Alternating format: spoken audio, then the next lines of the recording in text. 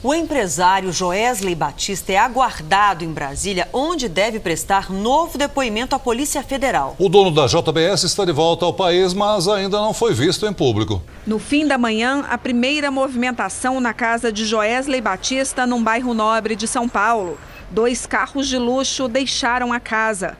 Num deles havia uma mulher no banco da frente. Pouco depois, um casal chegou à casa trazendo uma mala e uma pasta. À tarde, apenas este veículo entrou e deixou o local duas horas depois. Joesley Batista também deve prestar depoimento à Polícia Federal nos próximos dias. Na segunda-feira, ele e Ricardo Saldi, diretor do grupo JF, foram ouvidos pela Procuradoria da República aqui em Brasília. Eles deram informações sobre o repasse de dinheiro às campanhas dos ex-presidentes Lula e Dilma. O total seria de 150 milhões de dólares, dinheiro que vinha de propina de contratos do BNDES com os fundos de pensão da Caixa e da Petrobras.